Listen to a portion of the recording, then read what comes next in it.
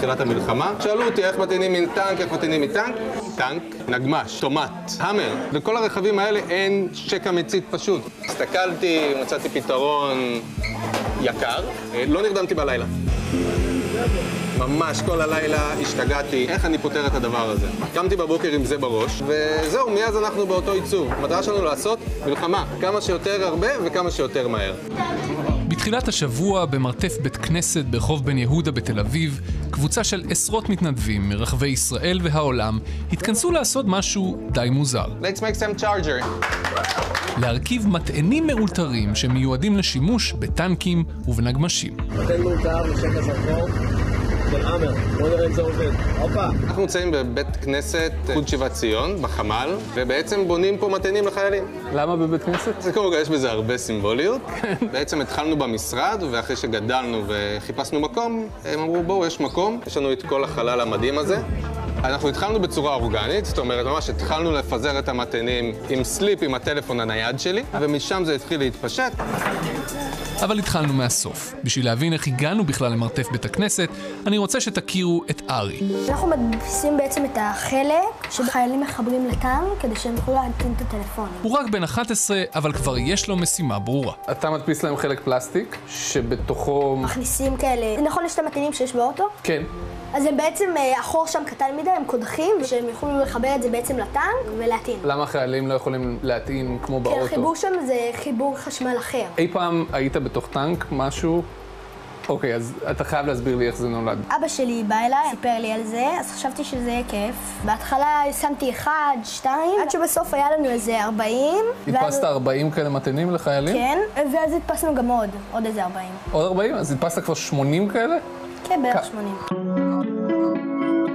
יש לך מדפסת תלת מימד בבית, מה אתה עושה איתה בדרך כלל כשאתה לא מדפיס מטענים לחיילים? יש לי את זה, של בלאק פינק, שילדה בכיתה רצתה שאני אכין לה, אבל בסוף היא לא לקחה. זה בייבי יודה. כן, עם פנים של דה רוק. גם הכנו שתי גביעי מונדיאל. הכנו גם את הסכין הזאת, וזה לא באמת כזה אחד. אוקיי. כמו להוריד כאילו תמונה ולהדפיס, אז אתה מוריד את התוכנית הזאת כאילו, מזין למדפסת והיא מדפיסה? כן. זה כיף? כן.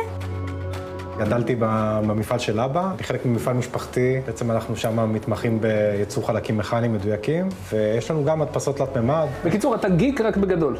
כן, כל אבא חי את החלומות שלו דרך הילדים. גם אבא של ארי, אסף, עושה את זה. הוא רצה כל מיני דברים שאני אקנה לו, וראיתי דברים פשוטים, אה, של כל מיני פלסטיקים ושטויות. במקום שאני אקנה לך, אז אמרתי לו, בוא, תייצר את זה בעצמך. בוא נדפיס. בוא נדפיס. זה הקובץ של המודל. זה בעצם חלק, אני מעלה אותו לפה. אה, וואו. עלים ל-250. פה צריך לכוון את הגובה. כמה זמן לוקח להדפיס אחד כזה? אחד כזה, אחד כזה לוקח בערך שעתיים, אבל אני מדפיס בשורות של ארבע, אז זה לוקח בערך שמונה שעות ועשרים דקות. אז אתה כאילו מפעיל אותו בבוקר, הולך לבית ספר, חוזר, יש לך ארבעה מטענים? כן, זה יסיים בעוד כמה זמן, שעה ועשר דקות. ואז אתה לוקח את זה ונוסע לתל אביב להביא להם? כן.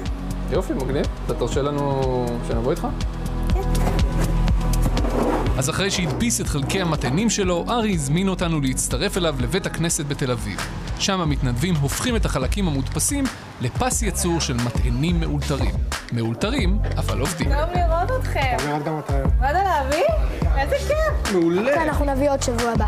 מדהים, אלוף, תודה רבה. אלוף, תודה. רוצה לבוא איתי לתת את זה לעיצוב? עוד פלסטיקים, חברים. שבוע אחרי המלחמה התחלנו לייצר. אז חודשיים אנשים בכל ישראל מדפיסים את זה בבית. מחברות עד בתי ספר, דרך אנשים פרטיים, ילדים מביאים לי משקית של שתיים לשקיות של אלפיים. מעולה, מושלם. זה פשוט. בוא נראה לך כמה פשוט זה. אתה פשוט דוחף אותו פנימה. וזהו, המוצר מוכן. שים מדבקונת לראש, ורוצה את זה בעצימת עיניים. כמה כאלה כבר עשית? אלפים. תראה כמה, מה זה? זה מטורף. כל זה מהיום? היה השעה האחרונה, כן, אפילו פחות משעה. זה המון, כמה יש פה? השיא שלנו זה 5,000. כל פעם חשבנו שאנחנו נעשה, נעצור ב-2,000, נעצור ב-3,000, אנחנו... ל-10,000, אמרנו, יאללה, זהו, זה יעצור. תנו לי מספרים. אשתי במספרים. היום עם 22,000 אה, בשטח. 22 אלף קטנצ'יקים כאלה כן, כן. חולקו כבר? כן, לא רק מחוברים מתאינים? שחולקו, באו לאסוף, ורובם אה, בעזה. וכמה עוד בקנה? אה, לפחות היום, עוד אלף, והביקוש ממשיך. מי האנשים האלה? יש מתנדבים קבועים, אנשים מכל הארץ, יהודים שבאו לארץ. כי שמעתי פה צרפתית יש ושמעתי פה אנגלית. צרפתית ואנגלית, יש פה אנגלוסקסים, ומכל העולם. כל יום שישי באים ובונים פה בקו ייצור עשרות אנשים. זה נשמע בהתחלה כמו סיפור קטן ושולי, מטענים. אבל כשרואים את החיילים שטורחים להגיע בזה אחר זה מכל יחידות צה"ל, לאסוף שקית עם מטענים ולספר כמה זה משנה את חייהם בשטח, תגרום לך שלך חשמל בשטח, באמת, זה המצאה גם הרבה זמן. מבינים איזה חור זה היה כאן.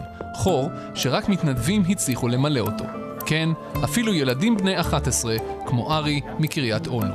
בזכותו, יש עכשיו כמה חיילים בשטח שמסוגלים להטעין את הציוד שלהם. האמנת בהתחלה שזה יגיע למשהו מהמימדים האלה? לא, אני רק רציתי לעשות 120 מטענים לחיילים ולהוציא את זה שאחרים ייהנו מזה. לא, לא חשבתי שהדבר הזה יהפוך לכזאת מפלצת.